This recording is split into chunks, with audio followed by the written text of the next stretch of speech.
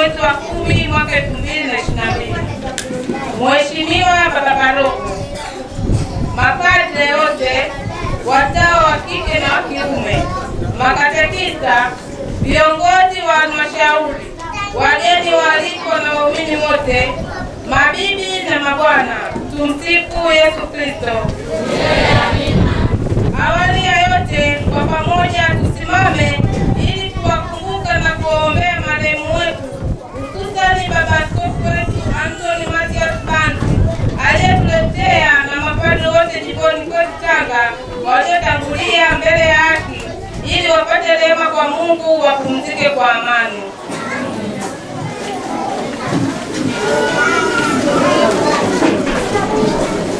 Raha ya milele uwape e Bwana,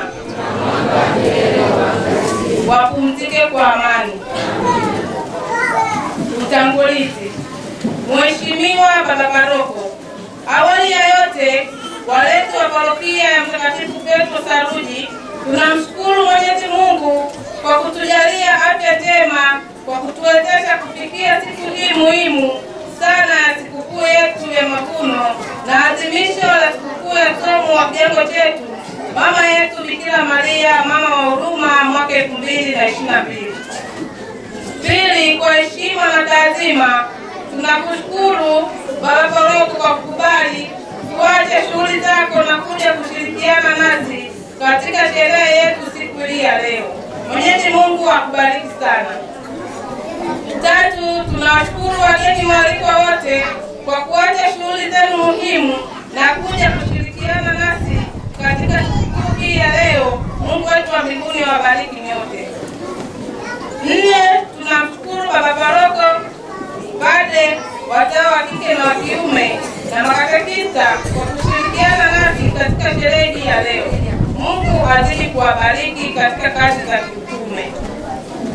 Mheshimiwa Baba Paroko, ifuatayo ni historia kuhusu chimbuko la kijango chetu kilivyoanza, kilipo sasa na matarajio ya kinakoelekea.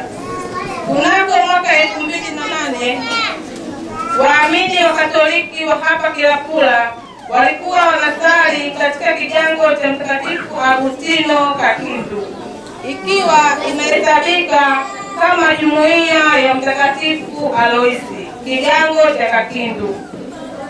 Kipindi hicho ikiongozwa na ndugu Charles Mtangi ambaye kwa sasa ni marehemu. Mwenyezi Mungu ailaze roho yake mahali pema mbinguni, akiwa ni mwenyekiti wa jumuiya hadi mwaka elfu mbili na kumi na tatu. Katikati ya mwaka elfu mbili na kumi na tatu ulichaguliwa uongozi kamili wa jumuiya, yaani kamati tendaji. Viongozi waliochaguliwa na kushika madaraka ni hawa wafuatao: Martha Mkwabi, mwenyekiti wa jumuiya, Dolorosa Lucas, mwenyekiti msaidizi, Lasnes Jonathan, katibu, Latifa Matawe, katibu msaidizi. Na Elizabeth Mjawa, mtunza fedha. Tarehe kumi na nane mwezi wa kumi mwaka elfu mbili na kumi na tatu ndugu Helmani Tanangura alijitolea kutoa eneo lenye ukubwa wa ekari moja katika shamba lake lililopo maeneo ya kilakula kwa ajili ya kujenga kanisa. Jambo hilo lilipokelewa na wanajumuiya kwa furaha kubwa na liliwatia hamasa na mchoshara hata kupelekea waombe ridhaa kwa Mheshimiwa Baba Paroko wakati wa kipindi hicho huo watapita baadhi ili wapatiwe huduma ya mita katika eneo hilo kila Jumapili chini ya kivuli cha mti kukiwa hakuna jengo. Watapita Bahati alilipokea ombi lao kwa maelekezo kwamba wafanye kwanza sensa ili kubaini idadi ya Wakatoliki waliopo eneo la Kilakula. Sensa ilifanyika na kupata idadi ya kaya hamsini na tatu zenye jumla ya idadi ya waumini mia mbili na nne. Baada ya paroko kupokea idadi hiyo, ndipo aliporidhia na kutoa idhini ya kuanzishwa kigango cha Kilapula mwaka elfu mbili na kumi na sita. Mheshimiwa Paroko, kwa muktadha huo kigango kilianza rasmi mwaka elfu mbili na kumi na sita chini ya jina la somo wake ambaye ni Bikira Maria mama wa huruma. Paroko Peter Bahati alimteua ndugu Erasto Antoni Simbabaje ambaye ni katekista kuwa mwalimu na katekista wa Kigango hadi sasa. Pia baba paroko alielekeza ichaguliwe kamati tendaji na vyama pamoja na mashirika ya kitume ili shughuli zote ziendeshwe kwa mujibu wa kanisa Katoliki la Roma. Kwa maelekezo haya, waumini waasisi wa kigango cha Bikira Maria mama wa huruma Kiwakula walichagua kamati tendaji ya kwanza ikiwa na viongozi wafuatao: Martha Mkwabi, mwenyekiti wa kigango Melito Francis Chiwalanga, makamu mwenyekiti, Loveness Jonathan, katibu, Deus Kiunga, naibu katibu, Yeveta Geo, mtunza fedha. Baada ya viongozi kuapishwa na kushika madaraka, tulifanya mambo mengi na muhimu ya kutegemeza kigango, yakiwemo pamoja na kuunda jumuiya ya Mtakatifu Aloisi, jumuiya ya Mtakatifu Josefu Mfanyakazi na jumuiya ya Kristo Mfalme. Pili, kuanzishwa kwa vyama vya kitume ambavyo ni kwaya ya Bikira Maria mama wa huruma, WAWATA pamoja na utoto mtakatifu wa Yesu. Tatu, kuanza ujenzi wa msingi wa kanisa la kudumu. Nne, kujenga banda la muda la kuabudia. Tano, walisimamia kuhakikisha mafundisho kwa ajili ya sakramenti za kanisa kama vile komunyo, kipaimara, ndoa na ubatizo vinafanyika.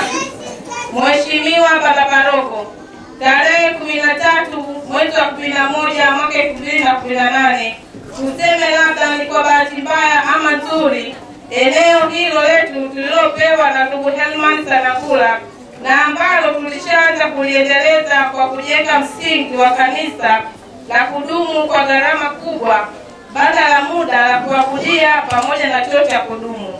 Lilipitiwa na mradi mkubwa wa kitaifa wa kutoka Dar es Salaam kwenda Mombasa, Kenya. Kutokana na tukio hilo, Mheshimiwa Baba Paroko, shughuli zetu za kuendeleza eneo hilo zilisimama na kutulazimu kujipanga upya. Katika kujipanga upya, uongozi wa kijako ukishirikiana na baba paroko wa sasa Padre Polycarp Shayo na kupata yenye ukubwa wa ekari kumi kwa bwana Tadeusi Andrea Materu kwa bei ya shilingi milioni kumi na tano, fedha ambazo tumekopeshwa na tutazilipa mara baada tutakapolipwa fidia. Eneo lenyewe ndiyo hapa tulipo kwa sasa, nalo kwa sasa lipo kwenye hatua za mwisho za kupatiwa hati ya umiliki kutoka Wizara ya Ardhi na Makazi. Mheshimiwa Baba Paroko, mnamo mwaka elfu mbili na kumi na tisa ndipo uchaguzi wa kamati tendaji awamu ya pili kwa kigango chetu cha Kilapula Bikira Maria mama huruma ulifanyika na kuwaleta viongozi wa wafuatao madarakani: Anthony Baltazar Liakurwa, mwenyekiti wa kigango, Martha Kwabi, mwenyekiti msaidizi, Violet Mbedule, katibu, Loveness Jonathan, katibu msaidizi na Ebeta Ngeo mtunza fedha. Viongozi hawa baada ya kuchaguliwa na kuapishwa waliunda na kuzindua halmashauri ya kigango ambayo ndiyo yenye mamlaka ya kuongoza kigango. Ndugu Mheshimiwa Baba Paroko, kamati tendaji ya halmashauri ya kigango awamu ya pili chini ya uongozi wa Mheshimiwa Paroko Padri Polycarp Shayo na aliyekuwa msaidizi wake Padre Geoffrey Mwayego, ikishirikiana na waumini wetu wote bega kwa bega tumeweza kujenga katika eneo letu jipya la kudumu lenye vyumba viwili na sebule, banda la muda la kuabudia, japo bado halijakamilika. Tumechimba na kujenga shimo la choo cha kudumu. Pia tumejenga msingi wa banda la vyoo. tumekuta umeme. Kwa kutekeleza hayo, umetuwezesha kumetuwezesha kuhamia katika eneo hili jipya kutoka lile la zamani. Pia kamati tendaji chini ya halmashauri ya Kigango ilifanya sensa ya idadi ya waumini kupitia kaya zake zote za kila jumuiya na kupata jumla ya kaya 65 zenye jumla ya waumini 460. Hivyo kigango chetu kina jumla ya jumuiya zifuatazo: jumuiya ya Mtakatifu Aloisi yenye kaya 18 sawa na waumini 77 jumuiya ya Mtakatifu Kristo Mfalme yenye kaya kumi sawa na waumini 45 jumuiya ya Mtakatifu Josefu Mfanyakazi yenye kaya kumi na mbili sawa na waumini 48 jumuiya ya Mtakatifu Tadei kaya kumi na tatu sawa na waumini 59 jumuiya ya Mikaeli Malaika Mkuu kaya 19 yenye waumini 69 jumuiya ya Mtakatifu Sebastiani kaya 13 sawa na waumini 52 jumuiya ya Mtakatifu Fabiani kaya 11 sawa na waumini 46 Mheshimiwa Baba Paroko, tunatamani kufanya mambo mengi ya maendeleo katika eneo letu ikiwa ni pamoja na kujenga kanisa letu la kudumu, lakini kwa sasa tumepanga tujikite kwanza katika ujenzi wa hili banda letu la muda la kuabudia kwa kulifanyia yafuatayo: A. kulisimamishia nguzo za tege; B. kulipandishia kuta za tofali; C. kuliwekea sakafu; D. kuliwekea madirisha na milango; E. kuliwekea mabenchi ya kukalia. Pili ni ujenzi wa banda la kudumu la choo. Tatu, kukuza maji. Mheshimiwa Baba Paroko, ukamilishaji huu pamoja na mambo haya matatu muhimu ya lazima kwa sasa yanahitaji wastani wa shilingi milioni 30. Mikakati ya kupata fedha hizi ni pamoja na harambee itakayofanyika siku ya leo. Hitimisho, tunaomba kwa jina la Yesu Kristo utufungulie ambaye yetu. Asante sana. Mungu wa mbinguni bariki. Tumsifuni Yesu Kristo.